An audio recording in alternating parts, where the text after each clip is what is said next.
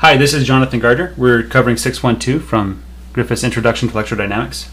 We've already discussed how uh, dipoles behave in uniform magnetic fields. We're going to talk about non-uniform magnetic fields next. Okay, so since it's non-uniform, um, then the sum of the forces is not equal to zero. Okay, uh, but in uniform fields, the sum of the forces is equal to zero, and so there's some acceleration, there's some pull in one way or the other um, due to the forces there. So you can calculate the force in non-uniform ma magnetic fields uh, as the the current times the closed looped integral of the DL elements cross B. Okay, that's just uh, uh, I believe that's a Biot-Savart law. Okay. Well, the DL bits. Um, what's the best way to explain this? So if you take a loop and you have a solenoid, and as you know, the magnetic field at the end of the solenoid kind of spreads out like a flower, um, a very uniform flower. Okay. And so the magnetic field there is non-uniform. And if you think about the parts that are over here, when it's when it's traveling into the page, you get a QV cross B. You get a force that's that's pointing a little bit down into the inside. Uh, hold on, let me let me do this one more time here. So your current's going around this way. Okay.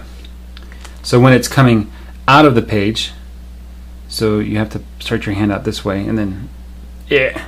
So you basically get a force that is pulling um, let me use a different color for the forces. It's pulling perpendicular to the magnetic field. Over here you get the same thing perpendicular. And then over here you get the same kind of, you know, force that behaves like that. There's a stretching force that tries to make it bigger. There's also a force that pulls it down. And so here this current loop, if the current is traveling that direction, experiences a net force downwards. Okay. And a good expression for how you calculate the force in a non-uniform magnetic field is you just take the gradient of the m vector dot the b vector. Okay, so you take that infinitesimal dipole um, moment and you, you dot product with the b. Okay, in this case the m vector would be pointing up, different color, red this time just to confuse you. Should have used red for the forces to keep it consistent. Okay, m vector dot b and it's the gradient of that. Okay, so here in the middle um, you know the the dot product, the magnetic field is I, I, believe it's it's weakening. So as you get closer and closer to here, then the magnetic field dot the magnetic field the, the the dipole moment dot the magnetic field is going to increase downwards. Okay, because the magnetic field is stronger down there. Okay, um, so we can apply product rule number four. Let me write that out just in case you don't have it handy. So product rule number four says that the um,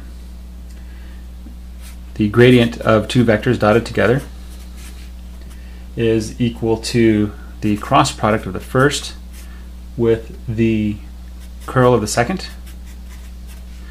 And I kind of bummed up because I should have written this lower. Plus the uh, cross product of the second with the curl of the first.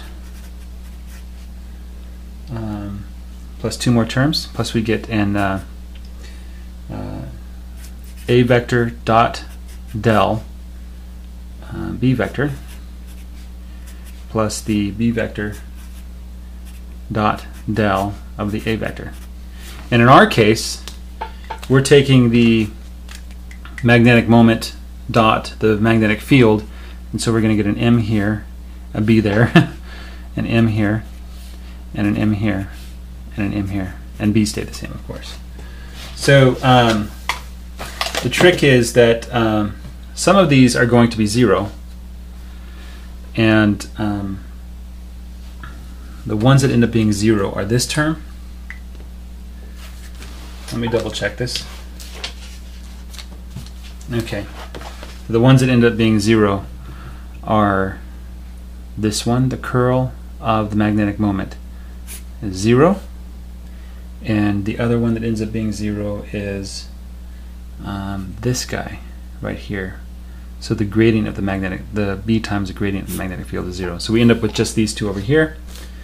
And the curl of B, remember the curl of B,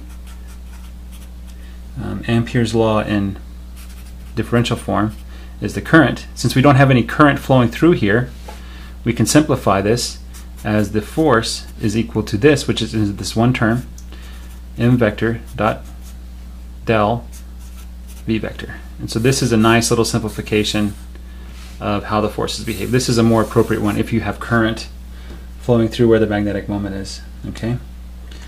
Um, so you remember that um, we had a similar thing in in electrostatics that we had the the um, the gradient of the the dipole moment dot the e vector ended up being the dipole moment dot del with the b vector. So we ended up with a very similar thing where we had, um, I believe it was the force. I could be wrong.